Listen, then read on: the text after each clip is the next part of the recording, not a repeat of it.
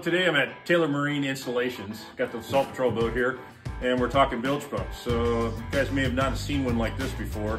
This is a Rule low profile bilge pump. So it's made to sit right on the bottom of the boat. And this is the intake here. You can actually turn it any way you want.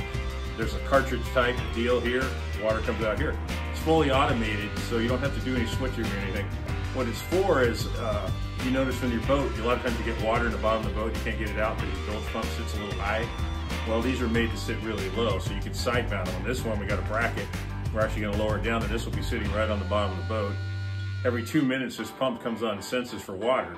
If it senses water, it turns on and pumps it out, sets down. So, you know, when you get that little slop in there, particularly aluminum boats, you know, bilge pumps tend to sit up about this high. Well, if you figure that across the bottom of the boat, that's quite a bit of water. So this is the way to handle it. So we'll take a look at it after we get it in.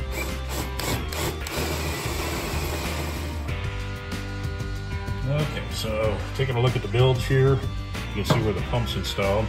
So I'll use my little pointer here. So there's the low profile pump right there. You can see there's the standard bilge pump sitting up here. Well, it's on a plate right here. It kind of sits above the bottom just a little bit.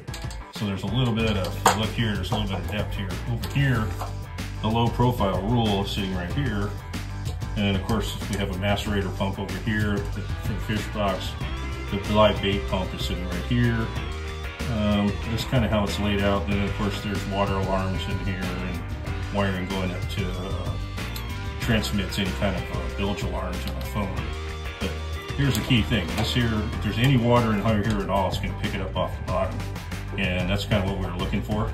So here's your hose coming up. You can see it's got wired in.